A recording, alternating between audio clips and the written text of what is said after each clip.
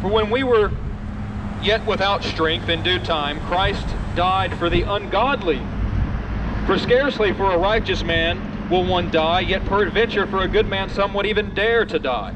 But God commended his love toward us, in that while we were yet sinners, Christ died for us. This, my friend, is the love of God that is shed abroad in our hearts. Those of us who are born again, blood bought Christians, not in name only. But this is the love of God that He died for the ungodly. While we were yet of no strength, had nothing to offer God, but He died for the ungodly. We are by nature God haters, but God died for God haters. This is what we rejoice in. This is the hope that we have. The gospel that's preached in many modern circles, in many modern quote unquote Christian churches today that says God loves you and has a great plan for your life and wants you to have your best life now. Friend, that has nothing to offer you. For you can have all the success that your heart desires here and now. You can have all the money that you ever imagined. But you are still going to die. Ten out of ten people die. It is the great statistic that none of us will escape this life. All of us die. Doesn't matter how much success you have. And Jesus said in, in Matthew chapter 16 that what profit a man that he could gain the whole world but yet lose his own soul? So that false gospel that God has a wonderful plan for your life, that he wants you to have your best life now, and they tell you to come to Christ for that reason, it has nothing to offer you because it is empty. You will die. And then what? You think you'll be able to offer God your money and success to atone for your sin? No. Friend, he's a just God that will not be bought. God cannot be bought. He cannot be conned. God cannot be conned into sweeping sin under the rug. He is much more just than an earthly judge. And the truth is that the real gospel of God's Word has much to offer you. Yes, friend, it may not appeal to your flesh. It may not appeal to the sinful desires that you have but it does appeal to your desire to live. For the word of God says in Romans 6:23, "For the wages of sin is death, but the gift of God is eternal life." Eternal life. And as it says here in Romans chapter 5, "For when we were yet without strength in due time, Christ died for the ungodly." That's the message. That's the message that we proclaim that when we were yet without strength, Christ died for the ungodly. He didn't die for the righteous. The righteous said they didn't need Christ. Many of you say that today. I'm a good person. I don't need Christ. I'm good. Friend, there is none good. You are not good. God knows your imaginations. He knows your thoughts. He knows your wicked intentions. None of us are good. Christ died for the ungodly. But those who point to their own self-righteousness, they say, we don't need Jesus. I'm good. I'm a good person.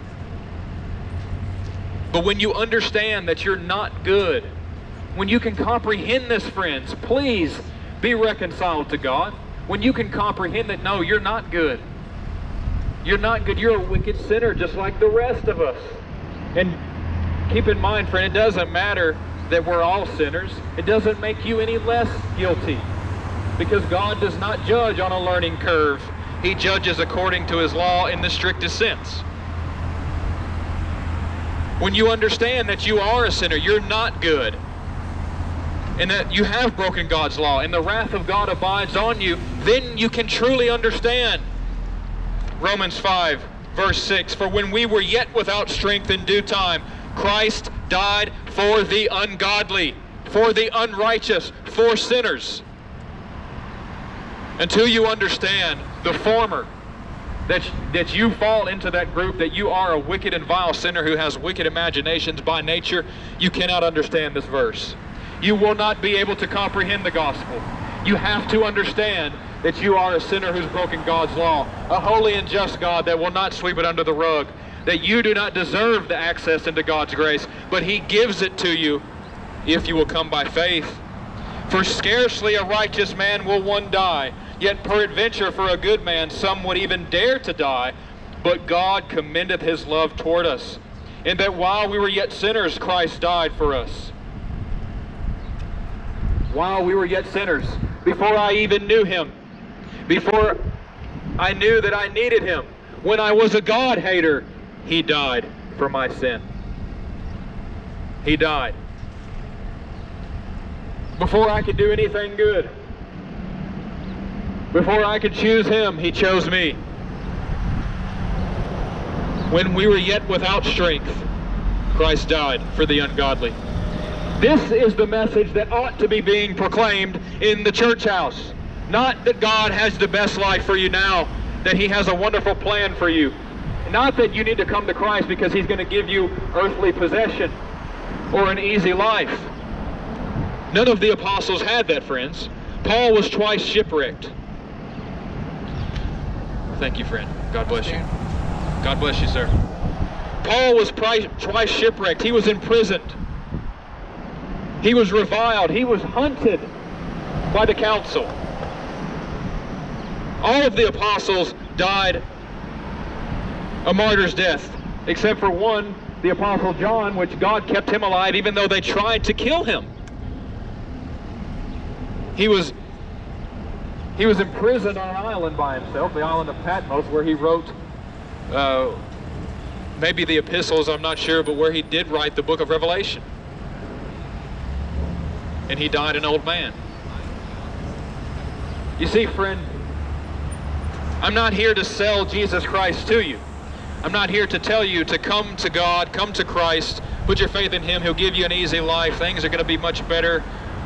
Because I don't know that. Yes, we will have peace and joy. That is, that is a fruit of our salvation. That is an effect, but it's not a drawing card. It's not why you should come to Jesus. You need to come to Him because He offers you the door of escape of the wrath of God.